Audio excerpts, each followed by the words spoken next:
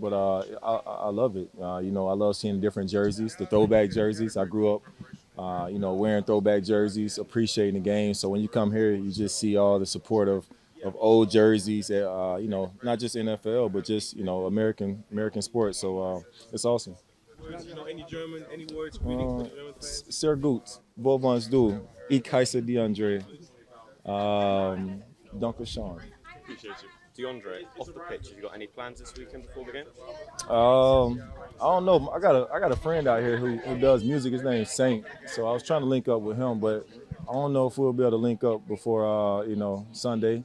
We got a busy schedule. I'm sure he does too. Uh, might go go do some shopping, but I was told I can't bring too many bags back, so might might only get one outfit. Yeah. Where should I go?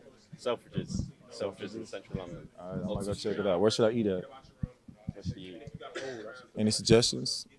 Uh, Just find a pub, shop, yeah. Union, uh, on Find a uh, pub. Soho. I can't do fish. I heard fish and chips is, is too easy. I got. I Nando's. got. What about chicken? Nando's. Nah. You need to go there. All right.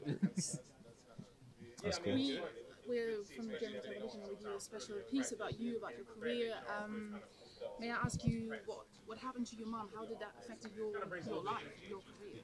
Uh, it affected my career for the, uh, you know, obviously, it affected, you know, not just my career, but my life, uh, my family's life. So, uh, you know, that happened when I was I was young, and uh, you know, I use it as motivation uh, to, you know, to go out, play hard.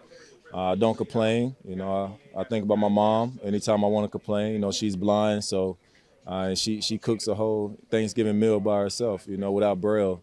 So you know, I don't complain, no excuses. But it's, it's it's taught me a lot. You know, it's definitely uh, taught me how to you know give my energy in certain places as well. She has a you know a sixth sense of you know of, of energy, and um, you know that's definitely spread throughout uh, our family. You know, just in case Stevie's in there not sleeping.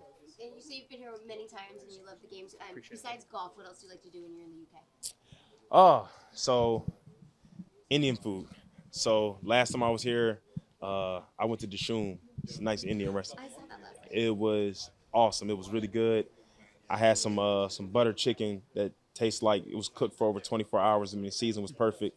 Um, but obviously, you know, do a little shopping, go to Harrods, Selfridges, those places. But also, you know, see the sights. I went to Buckingham Palace, seen Big Ben, uh, seen some of the cathedrals and things like that. The thing that fascinates me more is just to think how how old the city is. Because, I mean, you talk about America. America's probably been around 400, 500 years, something like that. But, I mean, this city's so much older. They still have paved roads, roads that I think were, when they were built, were made for, like, horses and stuff like that. So it's pretty small. I mean, it was cool. I mean, I just like seeing stuff like that. So it just, uh, it's kind of, it kind of just amazed me to see just the, uh, the attention to detail in some of the things that's out here versus, you know, in America, we have, like, modern buildings and stuff like that. You be like, what are we doing as a culture? I feel like we're going back you know, the, the art and the culture just like is taking a step back. But it's pretty cool to see. It's awesome out here. And now you said you've been here a couple times. You've played the games here.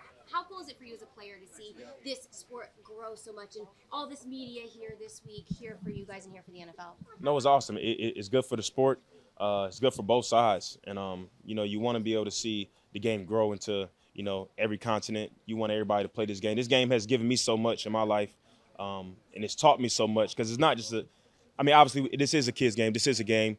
But uh, for me, uh, it teaches you a lot about life. Um, whether you're facing adversity, things could be going wrong. How do you respond in this game? So I think for anybody in any culture, no matter where you're at, you can learn so much about the game of football that you can kind of apply to everyday life. And last thing, shout out to your UK Titans fans. UK Titans fans, be root, please be rooting for us on Sunday. It's going to be an awesome game, and uh, we're going to shop for you guys. Sh- Titan up. Titan Up. for us to um, kind of pick up and pick it back up from um, you know a couple weeks ago. Um, I think at the end of the day, I, I feel like we have a great front, um, especially on the defensive side. With, you know when we when we rushing together. So um, this Sunday gonna be a big challenge for us, playing against a mobile and a pretty good quarterback. So I'm I'm looking forward to it. Are you feeling 100% or like pretty close for uh, for the game?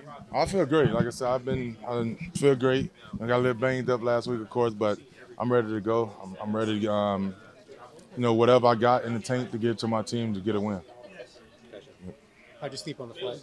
Uh, it, it was okay. I, I wouldn't say I slept the best. Um, you know, I'm not a big sleeper, no way. So, you know, I got uh, probably like an hour and a half, two hours maybe. Um, but you know, I watched a little film. um, went back over my notes.